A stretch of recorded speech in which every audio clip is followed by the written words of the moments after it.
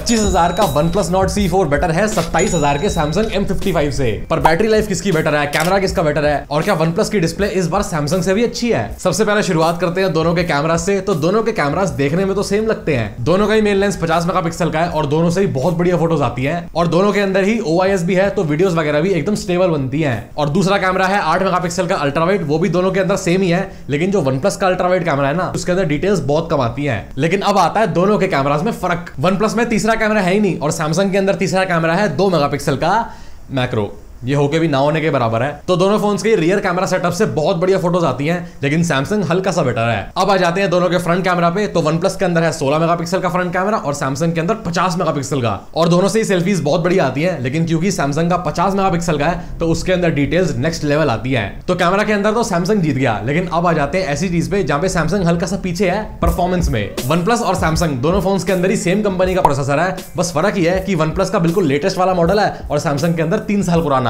और one plus के अंदर परफॉर्मेंस बहुत बेटर मिलती है। चाहे आप रोज़मर्रा के भी काम करो, चाहे गेमिंग भी। और बेंचमार्क्स भी यही कहते हैं कि वन प्लस का प्रोसेसर ज़्यादा ताकतवर है। तीन साल के अंदर प्रोसेसर तो इतना इंप्रूव हो गया, लेकिन आरसीबी वहीं की वहीं है। और हीटिंग इशू दोनों फ़ोन के अंदर ही बिल्कुल नहीं है। तो अगर आप डेली लाइफ के लिए कोई फ़ोन ले रहे हो तो दोनों बहुत स्मूथ चलेंगे। लेकिन अगर आपको गेमिंग ज़्यादा करनी है तो वन प्लस बेटर ऑप्शन है। और गेम्स खेलते हुए गोलियों की आवाज़ भी अच्छे से आनी चाहिए तो उसके लिए स्पीकर बहुत इंपॉर्टेंट है। तो दोनों के अंदर ही ड्यूअल स्पीकर है। और दोनों फ़ोन का ही पहला स्पीकर तो बॉटम में है, लेकिन जो दूसरा स्पीकर है, वो सैमसंग के अंदर उसके ईयर में है।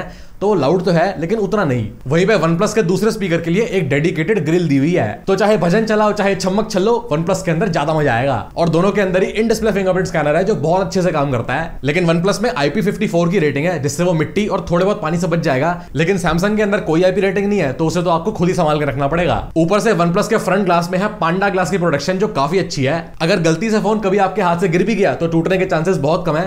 लेकिन सैमसंग के फ्रंट में कौन सी ग्लास की प्रोडक्शन है, ये सैमसंग ने अभी तक कहीं भी नहीं बताया। हुआ। और कोई चीज़ तभी छुपाई जाती है जब दाल में कुछ काला हो। पर वन प्लस के अंदर एक बहुत इंपॉर्टेंट चीज़ मिसिंग है, इनका अलर्ट लेटर अब सैमसंग की पहचान तो इनका वन यू आया है। वन प्लस वाले भी अपनी पहचान बिखेर देते तो बहुत अच्छा लगता।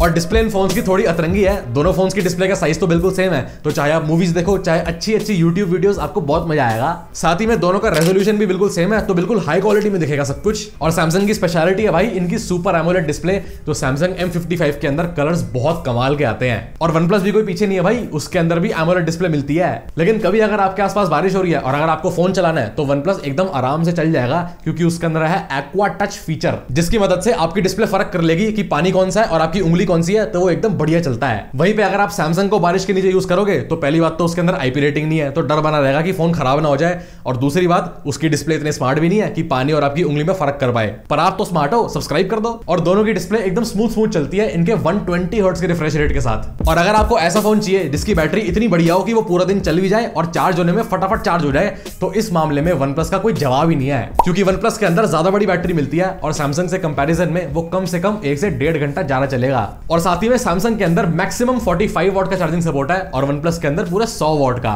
और सैमसंग ज़ीरो से 100 परसेंट फुल चार्ज हो रहा है एक घंटे के अंदर। वहीं पे वन प्लस एक घंटा भी नहीं लेता, पैंतालीस मिनट भी नहीं लेता, सिर्फ़ तीस मिनट लगते हैं उसको ज़ीरो से हंड्रेड पहुँचने में। तो पूरा दिन फ़ोन चलाओ और जब नहाने जा रहे हो तो फ़ोन को चार्जिंग पे लगा दो। अब तो गर्मी आ गई है, अब तो नहाते हो गए। और साथ में वन प्लस के डब्बे के अंदर ही आपको सौ वॉट का चार्जर मिलेगा। वहीं पे सैमसंग की चार्जिंग भी स्लो है और साथ में चार्जर भी नहीं देते। और तो और वन प्लस वाले अपने फ़ोन के साथ ही बहुत ही बढ़िया क्वालिटी का फ़ोन का कवर भी देते हैं।